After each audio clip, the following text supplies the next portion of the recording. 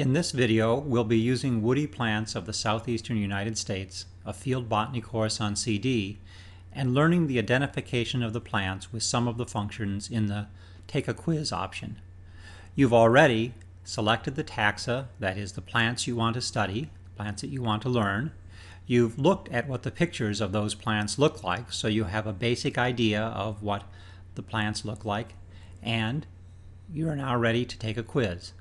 So because we've already selected some taxa, when we select on Take a Quiz, our Quiz Text Options dialog box appears immediately. If we had not selected the taxa for study, we would get a reminder that we have to select those taxa before we can go on to take the quizzes, and in fact we would be taken to the Select Taxa, that is, Select Plants, dialog box to let us select our plants. But we've already done that. We've selected some plants at the species level. We've selected American elm and river birch. When we open this dialog box, we see that there are four possibilities from the drop-down menu. Image naming with prompt, without prompt, image comparison, and image verification. This video will deal with image naming with prompt. There's one option we can set here, and the default is usually at one second.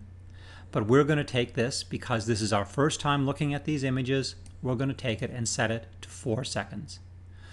As more advanced users, we may want to reduce this amount of time. Four seconds is quite a long period of time to look at an image. Saying continue takes us to our first image. And remember, this was with prompt, so a name of the species stays on the screen while we see the image, stays there for four seconds before our dialog box appears, and now we're prompted to enter the common name. This is not very hard because the common name is on the screen. Let me type it in. And now we can press continue with the mouse button, but it's much better, much faster, it will help your learning much more if you would just get in the habit of using the keyboard. And at this point you can just press return and that option is selected and now we get a little dialog box saying that we did a good job in typing in that name. And now again, we can press return or enter on the keyboard to select the OK. And we go on to the next image. It stays on the screen for four seconds. And now we can enter the common name again from the keyboard. So this option is allowing us to associate this name with this plant. So we should look carefully at the plant for four seconds while the image appears on the screen and there is no dialog box. When the dialog box appears, we just type the name in. If we make a mistake, we get another chance to um, type the name again.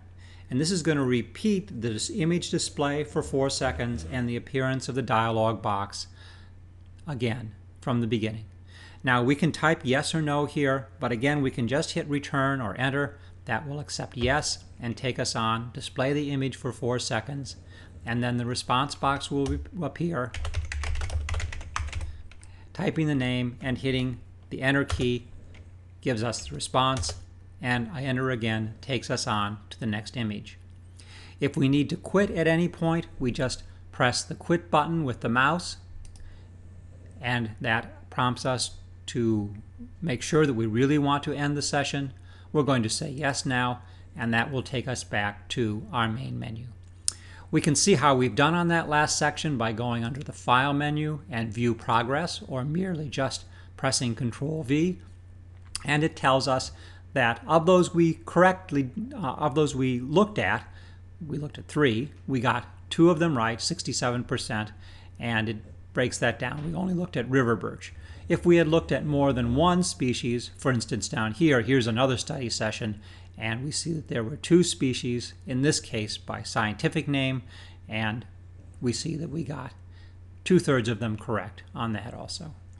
Pressing OK or hitting return takes us back to the main menu, and we are ready to continue with taking another quiz or taking a test. Thanks for your attention.